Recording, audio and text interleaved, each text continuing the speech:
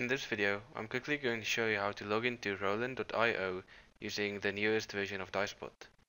So once you've downloaded Dicebot, just extract it like usual.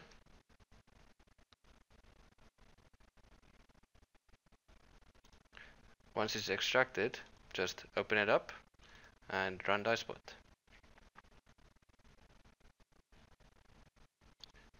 Run anyway.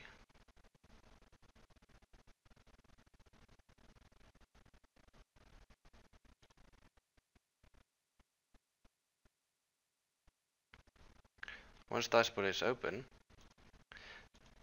just select Rollin.io from the site menu. Now go to Rollin and then go to Account, Profile. On, at the bottom of the screen you will see API key. Select New and then enter your password. You will see this window. Select everything in this and open Notepad.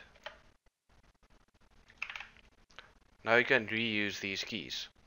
So back to Dicebot, enter your username there, select the API key and copy everything but be careful not to copy extra spaces around the key. Then back to Dicebot, paste it in the API key box and then go back to the notepad and select your secret and then paste that into the secret box.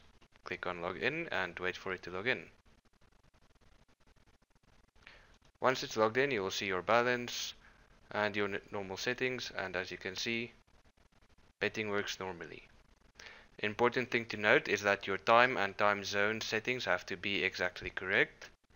Uh, you can just Google my current time and my current time zone and Google will give you the correct settings.